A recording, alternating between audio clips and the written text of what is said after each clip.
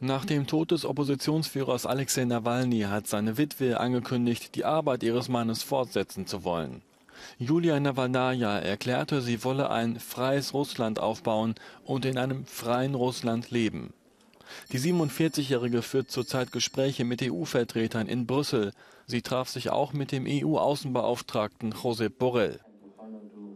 In the middle of the meeting, we receive uh, Julia Navalnaya.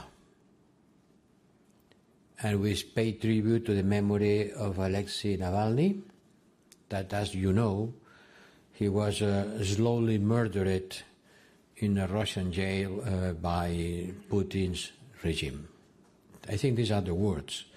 Slowly murdered in a Russian jail by Putin's regime.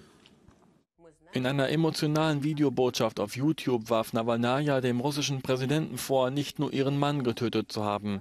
Wladimir Putin habe auch versucht, Russland die Hoffnung auf Freiheit und Gerechtigkeit zu nehmen. Nawalnys Mutter Lyudmila Nawalnaja hat sich unterdessen in die Strafkolonie in der Arktis begeben, wo ihr Sohn nach offiziellen Angaben zusammengebrochen und gestorben ist. Die Behörden erklärten jedoch, dass die Familie noch 14 Tage warten müsse, um den Leichnam zu sehen.